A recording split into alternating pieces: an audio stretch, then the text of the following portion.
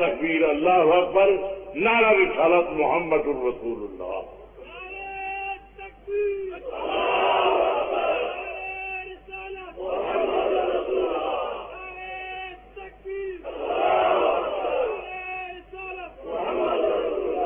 بس یہی چند مٹھی بھر آدمی نعرہ لگانے ہیں، نہ لو نعرہ لگاتے ہیں، نہ وہ لگاتے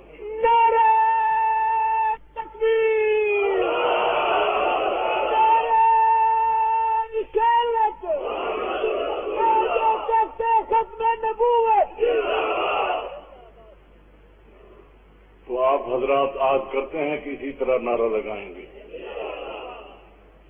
اور ان قادیوں کے متعلق آپ کہیں گے کہ یہ قادیانی ہیں۔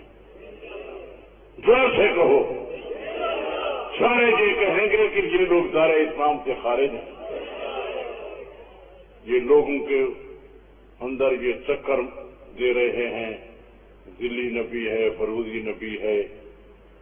یہ قرآن حدیث میں کہیں ہے۔ حضور کے زمانے میں یہ لفظ تھا۔